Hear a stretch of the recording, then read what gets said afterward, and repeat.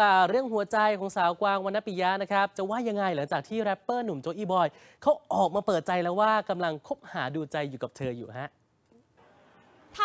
านักแสดงสาวกวางวรรณปิยะเป็นปลื้มสุดๆเลยล่ะค่ะ หลังแรปเปอร์หนุ่มชื่อดังอย่างโจอี้บอยออกมาให้สัมภาษณ์ว่ากำลังศึกษาดูใจอยู่กับเธอ แถมรักครั้งนี้ยังจริงจังมากซะด้วย โดยงานนี้สาวกวางก็ชมหนุ่มโจอี้บอยไม่ขาดปากว่าคบหาดูใจกันมา 6 เดือน ฝ่ายชายดูแล take care เธอเป็นอย่างดีไม่เคยเปลี่ยน อย่างช่วงวาเลนไทน์ที่ผ่านมานะคะ เจ้าตัวไม่สบาย แต่แรปเปอร์รุ่นพี่ก็ยังหอบดอกกุหลาบแดงมาเซอร์ไพรส์ถึงขอบเตียงในโรงพยาบาลเลยทีเดียวล่ะค่ะ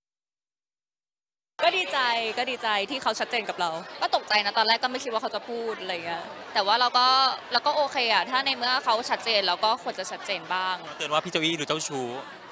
ใช่ แต่ว่ากวางก็คิดว่าคือเท่าที่รู้จักเขามาเขาไม่ไม่เคยมีให้กวางเห็นอะ